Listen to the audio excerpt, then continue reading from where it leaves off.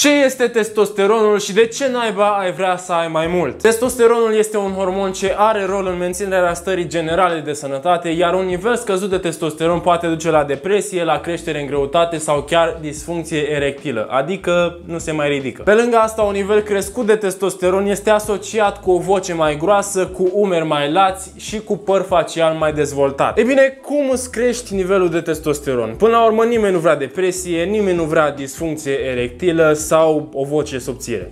Astăzi vom vorbi despre 5 metode care au fost dovedite științific că îți măresc nivelul de testosteron, iar dacă îți sunt de ajutor și îți place acest videoclip, nu uita să lași un like. Hai să vedem despre ce e vorba. Prima metodă pentru a crește nivelul de testosteron din corp este să faci sport. Ridicarea greutăților s-a dovedit că în timp îți crește nivelul mediu de testosteron, iar după ce termini un antrenament intens la sală, nivelul de testosteron se află la cote înalte timp de o oră. Un alt motiv major pentru care nivelul tău de testosteron este scăzut este faptul că ești gras. Și uite așa intri într-un cer vicios. Faptul că ești gras duce la un testosteron scăzut, iar testosteron testosteronul scăzut duce la luarea în greutate mai rapid. Așa că du-te și fă sport în mod constant. A doua metodă prin care să crești nivelul de testosteron din corp este să mărești aportul de zinc și de potasiu. Alimentele bogate în zinc sunt fructele de mare precum scoicile sau crabii, carnea de porc, de vită sau de pui și ciupercile. Alimentele bogate în potasiu sunt fructele confiate, cartofii sau boabele de fasole. Așa că mănâncă mai multe dintre aceste alimente pe care le-am enumerat,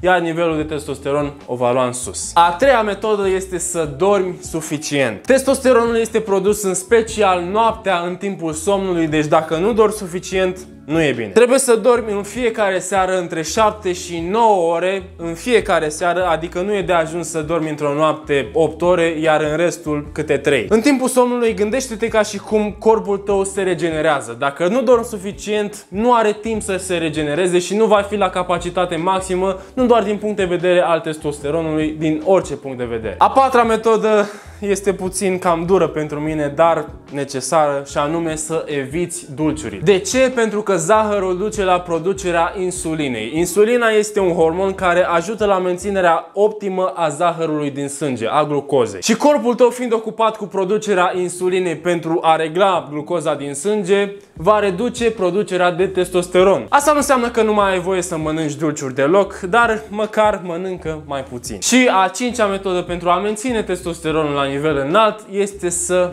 te relaxezi. Când ești stresat, când ești obosit, când ai multe pe cap, un alt hormon magic apare și anume cortizolul. Este hormonul stresului. Când cortizolul îți face apariția, testosteronul scade. Așa că atunci când te simți stresat, ține minte că îți afectează nivelul de testosteron, așa că ia o pauză, du-te și plimbă-te pe undeva, citește, uită-te la un serial sau uită-te la videoclipurile mele și lasă un like. Da, oamenii, acesta a fost videoclipul de azi. Dacă v-a plăcut și v-a fost de ajutor, vă rog frumos să-l distribuiți mai departe, să vă abonați, bineînțeles, dacă n-ați făcut-o și să-mi dați un follow la Edit Advice pe Instagram, aveți linkul în descriere. De asemenea, dacă ai o problemă personală și ai nevoie de ajutor, poți deveni membru al canalului și astfel vei avea acces la serverul nostru de Discord numit Masa Sfaturilor, unde încercăm împreună să rezolvăm problemele pe care adolescenții le întâmpină. Și acestea fiind spuse, eu am fost Advice sau Edi și până data viitoare, nu uita, pune eu reușită, nu un rateu.